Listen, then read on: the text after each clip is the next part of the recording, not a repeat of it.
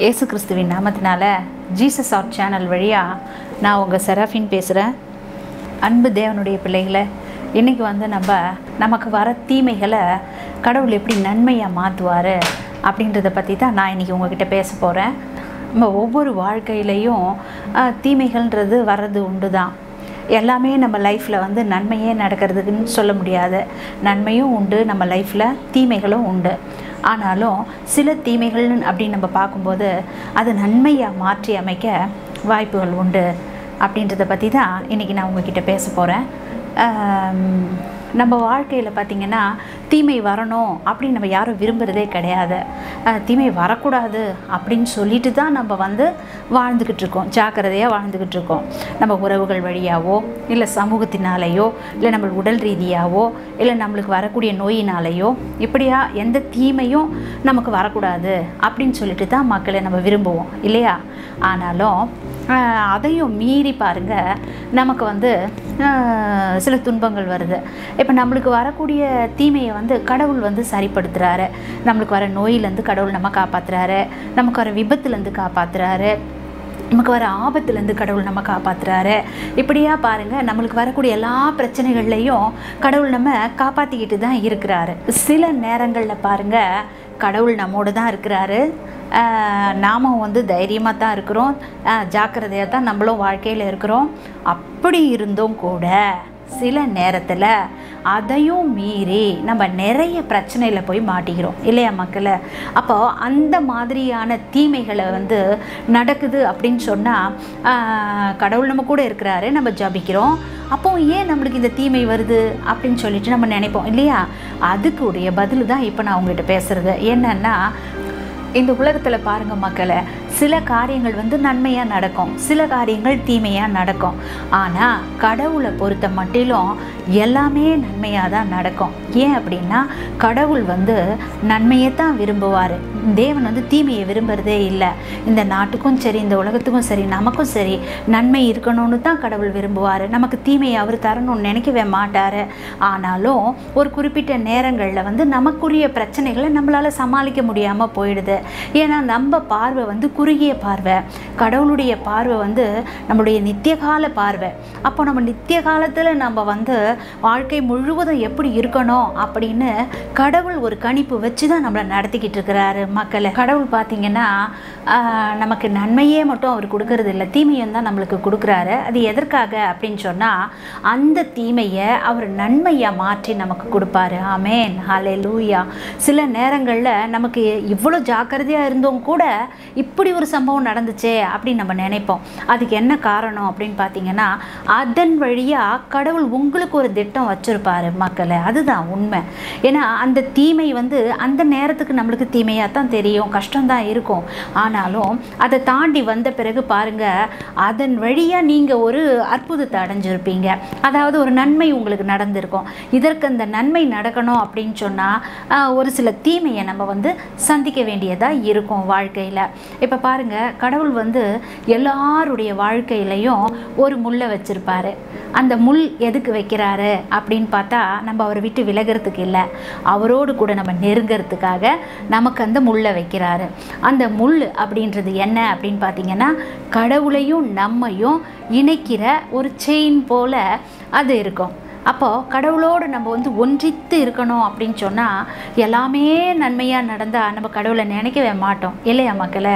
ஆகையால் கடவுள் என்ன செய்கிறாருன்னா சில தீமைகளையும் நமக்கு வர செய்கிறாரு ஆனாலும் கடவுளால் வரக்கூடிய தீமைகள் எப்படி இருக்கும் அப்படின்னு பார்த்தோன்னா அது நன்மையாக தான் போய் முடியும். இப்போ பவுல் வந்து ரோமையர் இரண்டாவது அதிகாரத்தில் இருபத்தி எட்டாவது வசனத்தில் இவ்வாறாக சொல்கிறார் பாருங்க மக்களை. மேலும் கடவுளிடம் அன்பு கூறுபவர்களோடு அதாவது அவரது திட்டத்திற்கேற்ப அழைக்கப்பட்டவர்களோடு அவர்கள் நன்மைக்காகவே ஆவியர் அனைத்திலும் ஒத்துழைக்கிறார் என்பது நமக்கு தெரியும் அப்படின்னு சொல்லிட்டு பவுல் அடிகளார் வந்து ரோமையரில் சொல்கிறத நம்ம பார்க்குறோம். அதுக்கு என்ன அர்த்தம் அப்படின்னு பார்த்தீங்கன்னா பவுல் வந்து சொல்கிறதுக்கு அர்த்தம் என்னென்னா நமக்கு நடக்கிறது எதுவுமே நன்மைக்கு ஏதுவாகவே நடக்குது அப்படின்னு கடவுள் சொல்கிறாரு அந்த கடவுளுடைய வார்த்தையை பவுல் வந்து சொல்கிறாரு இவ்வாறா பவுல் வந்து சொல்கிறாரு நன்மைக்கு ஏதுவாகவே அந்த தீமை நமக்கு நடக்கிறதா அவர் சொல்கிறாரு இந்த உலகத்தில் நடக்கிற நன்மைகள் தீமைகள் எல்லாவற்றையும் நித்திய வாழ்விற்கு ஏதுவாக நன்மையை நன்மையாக மாற்றுகிறவர் தேவன் மக்களை. நமக்கோ அல்லது மற்றவர்களுக்கோ ஒரு தீமை நடக்கும்போது தேவன் ஏன் இதை அனுமதிக்கிறார் என்று நாம் குழம்பி போகலாம். ஆனால் கவலைப்படுவோம். அதுக்கு என்னன்னா எந்த தீமையும் தேவன் நன்மையாய் மாற்றுவார் என்று நாம் நம்பிக்கையோடு இருக்கணும். சரி மக இப்போ வந்து நீங்கள் என்கிட்ட கேட்கலாம். சரி கடவுள் வந்து தீமையை நன்மையாக மாற்றுவாருன்றீங்க அப்போ நிறைய இறப்புகளெல்லாம் நாங்கள் சந்திக்கிறோம். அதுவும் ஒரு தீமை தானே. அப்போ அதை கூட தேவன் வந்து விரும்புகிறாரா அப்படின்னு பார்த்தா கடவுள் என்ன சொல்கிறாருன்னா அவர் குறித்து வைத்த திட்டத்தின்படி தான் இந்த பூமி பூமியில் மக்களை வந்து வழி நடத்துகிறாரு அப்போது தேவன் இருக்கிறார் என்று நம்பிக்கை நமக்கு எல்லோருக்கும் இருக்கிறது இல்லை. இந்த உலகத்தில் நடக்கிற எல்லாமே பாருங்கள் மக்களை நடப்பது எல்லாமே அர்த்தம் இல்லாமல் நடப்பதில்லை தேவன் எதையும் அர்த்தம் இல்லாமல் அனுமதிப்பதும் இல்லை. எல்லாவற்றையும் தேவன் என்ன செய்கிறாருன்னா நன்மையாக மாற்றப் போகிறார். தீமை நடக்கும்போது புரிஞ்சுக்கிறதுக்கு சிரமத்தான் சிரமமாக தான் நம்மளுக்கு இருக்கும்.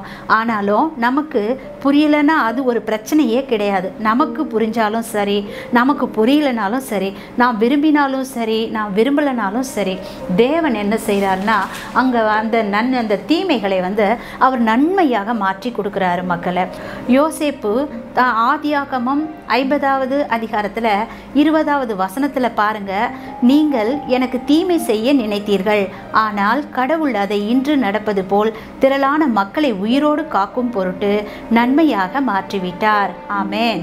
இப்போ வந்து பதிமூணு ஆண்டுகளாக யோசேப்பு எப்படி இருக்கிறாரு? தேவன் தீமையிலே தான் அவர் வச்சிருக்கிறாரு யோசேப்பை. அவர் என்ன செய்கிறாங்க அவருடைய குடும்பத்தில் இருக்கவங்களே என்ன செய்கிறாங்க சகோதரர்கள் குழியில் போடுறாங்க. அங்கேருந்து தப்பிக்கிறாரு. அதுக்கப்புறம் அவரை வித்துடுறாங்க. அதுக்கடுத்தது ஒரு அடிமைத்தனத்துக்கு போய் வேலை செய்கிறாரு அதுக்கப்புறம் பாருங்கள் அவரை சிறையில் அந்த ஒரு போர்த்திபனுடைய மனைவியால் அவர் கற்பழிக்கப்பட போகிறாரு அப்படின்னு சொல்லிட்டு அவர் என்ன செய்கிறாங்க அவர் மேலே ஒரு பழியை போட்டு அவரை சிறைச்சாலைக்கு அனுப்புகிறாங்க அதுக்கப்புறம் சிறைச்சாலையில் இருக்கிற இரவு பொழுது சிறைச்சாலையில் இருக்கிற யோசேப்பு பொழுது விடிஞ்ச அந்த நாட்டுக்கே பிரதம மந்திரி ஆனார் ஆமேன்.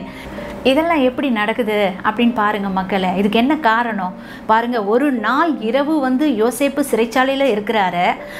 பல துன்பங்கள் பதிமூணு ஆண்டுகளாக அவர் பல விதமான பிரச்சனையெல்லாம் அவர் சந்திக்கிறாரு.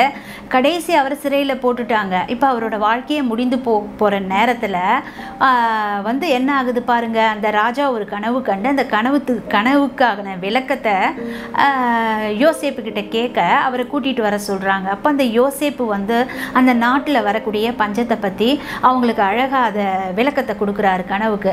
உடனே ராஜா வந்து அவரை பாராட்டுறாரு. அடுத்த அதாவது அந்த தலைமுறை மட்டும் இல்லை ஒருத்தருக்கு மட்டும் இல்லை அங்கே இருக்கிற லட்சணா லட்சக்கணக்கான மக்களை வந்து அவர் காப்பாற்றின மாதிரி ஆயிடுச்சு அந்த வார்த்தை. அதனால் என்ன நடக்குது பாருங்க ராஜா வந்து அவரை பிரதம மந்திரியாக நியமித்தார் ஆமேன். ஹாலே லூயா இயேசுவிற்கு மகிமை உண்டாவதாக. அப்போ பாருங்க கடவுள் எவ்வளோ பெரியவர் பாருங்க. இன்றைய பொழுது நம்ம ஒன்றுமே இல்லை நம்ம லைஃப் எல்லாம் முடிஞ்சு போச்சு இதுக்கப்புறம் நம்மளுக்கு எதுவுமே இல்லை அப்படின்னு சில பேர் நம்ம நினச்சிக்கிட்டு இருக்கிறோம். அது முற்றிலும் தவறு மக்களே. தேவன் பேரில் நீங்கள் நம்பிக்கையாக இருக்கும்போது கடவுள் உங்களை மாற்றி அமைத்து விசேஷ விதமாக ஆசிர்வதிப்பார். இன்று நடக்கிறது எல்லாமே அவருடைய கட்டுப்பாட்டுக்குள் நடக்கிறது என்பதை நாம் நம்ப முடியும். Everything is control by God எல்லா விஷயத்துலையும் பாருங்க இன்று நடப்பது எல்லாமே தேவனுடைய கட்டுப்பாட்டிற்குள் தான் நடக்கிறது என்று புரிந்து கொள்கிற சக்தி நம்மளுக்கு இருக்கணும் மக்களை. எல்லாமே நன்மையாகத்தான் நடக்கும். எங்கெல்லாம் எங்கெல்லாம் பாருங்க குண்டு வைக்கிறாங்க எங்கெல்லாம் பூகம்பம் வரும் எங்கெல்லாம் புயல் வரும் யாருக்கெல்லாம் நோய் வரும் இப்படி எல்லாமே பாருங்க காடோட கண்ட்ரோல்குள்ளே தான் இருக்குது கடவுளோட கண்ட்ரோல்குள்ளே தான் அவர் எல்லாத்தையுமே வச்சுருக்கிறாரு. அணைய இப்போ வந்து பாருங்க அடைக்கலாம் குருவி அப்படின்னு எடுத்துக்கோங்க. அது பார்த்தீங்கன்னா பிதாவின் சித்தம் இல்லாமல் கீழே விழாது. ஒரு குருவி அடைக்கலாம் குருவின்றது கூட பாருங்க பிதாவின் சித்தம் இல்லாமல் கீழே விழவே முடியாது. கடவுளோட கண்ட்ரோலுக்குள்ளே தான் எல்லாமே நடக்குது. நிச்சயமாக தேவன் எல்லாவற்றையும் நன்மையாக மாற்றுவார். இதே போல் மக்களை நம்ம ஒவ்வொருவருடைய வாழ்க்கையிலையும் கூட பல தரப்பட்ட தீமைகள் நடந்திருக்கும். அந்த நேரத்துக்கு அந்த தீமைக்கு வந்து நம்மளுக்கு அர்த்தம் புரியாமல் இருக்கும். ஆனாலும் அது சில நாட்கள் கழித்து வந்த பிறகு பாருங்க அது ஒரு நன்மைக்காக நடந்திருக்கிறதா இருக்கும். நம்ம கடவுள்கிட்ட முறையிடுறோம் கடவுள் தான் நம்மளை பார்த்துக்கிட்டு இருக்கிறாரு.